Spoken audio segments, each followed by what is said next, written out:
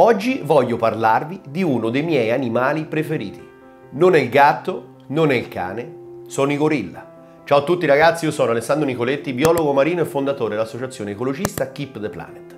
E oggi voglio parlarvi dei gorilla. Un genere di primati appartenenti alla famiglia degli ominidi.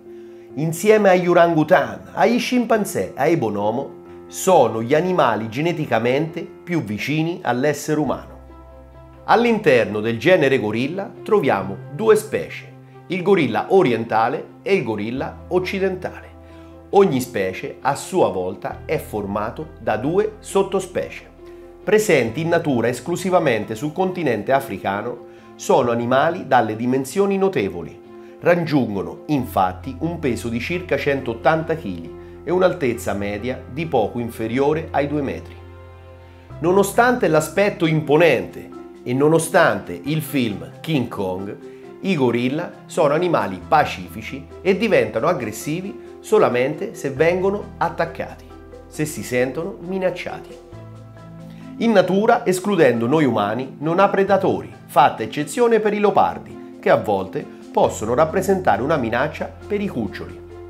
Passano la maggior parte della giornata a masticare rami e foglie. Sono infatti animali vegetariani a differenza degli orangotango che svolgono una vita solitaria, i gorilla si raggruppano in famiglie organizzate, dove un maschio dominante protegge le femmine e i più piccoli.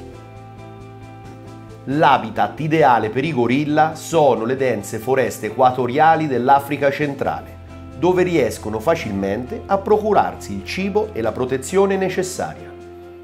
Purtroppo, tra i vari ecosistemi terrestri, le foreste dell'Africa centrale sono quelle a maggior rischio.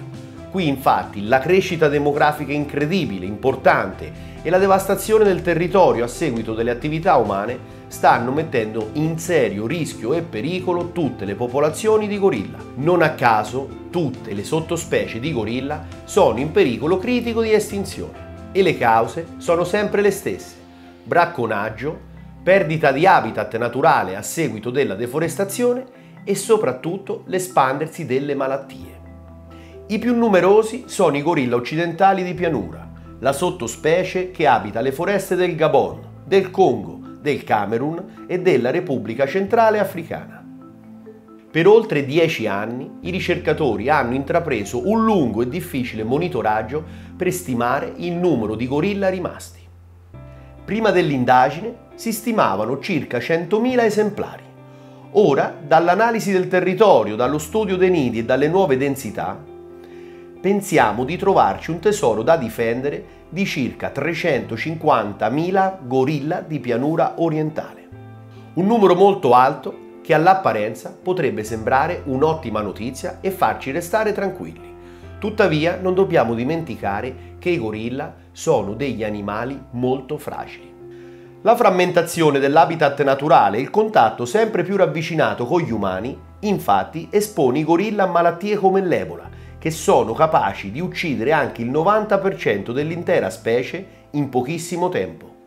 Pericolo sanitario che si somma all'ecologia e alla biologia del gorilla, che è un animale che si riproduce molto lentamente, con femmine che impiegano 11-12 anni per raggiungere la maturità sessuale e partoriscono solamente ogni 4 anni. Non a caso, secondo gli standard internazionali dell'Unione per la conservazione della natura, inserisce tutte le sottospecie di gorilla nelle liste rosse per il pericolo di estinzione.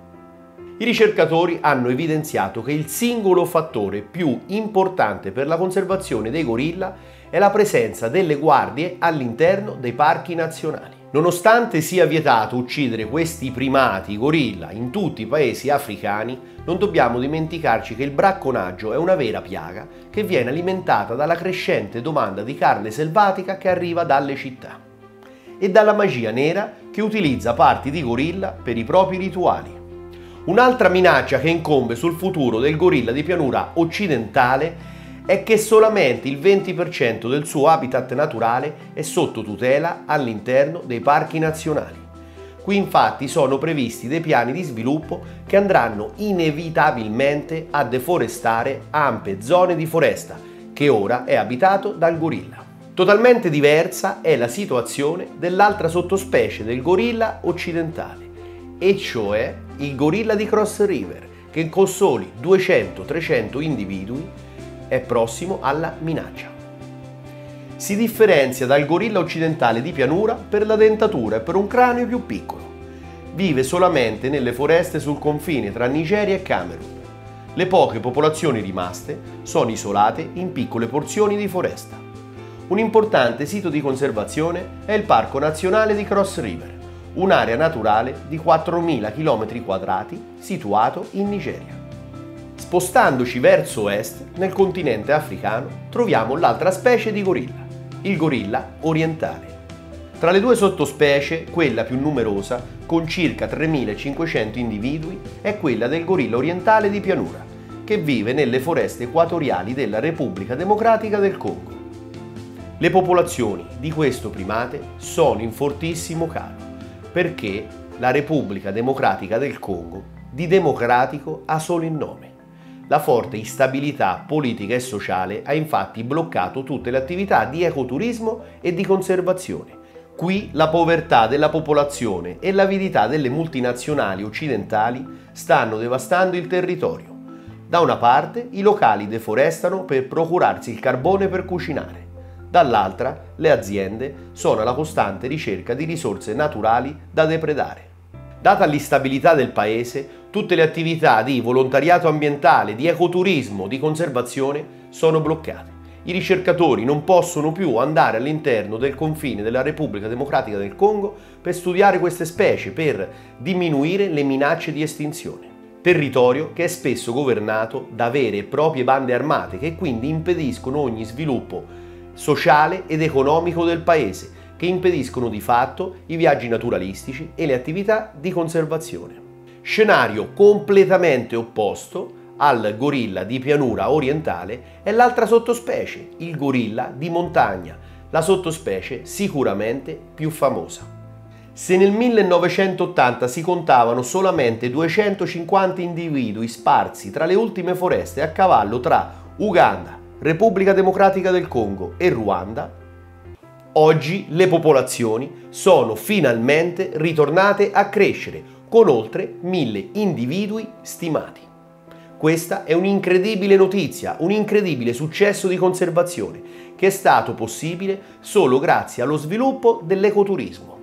Nonostante il gorilla di montagna non sia una specie ancora fuori pericolo di estinzione, questa crescita che da 250 individui ci ha portato ad oltre 1000 esemplari in vita e in salute è un esempio incredibile che se vogliamo il volere è potere, che la conservazione quando attuata in maniera rigorosa i successi e i risultati arrivano.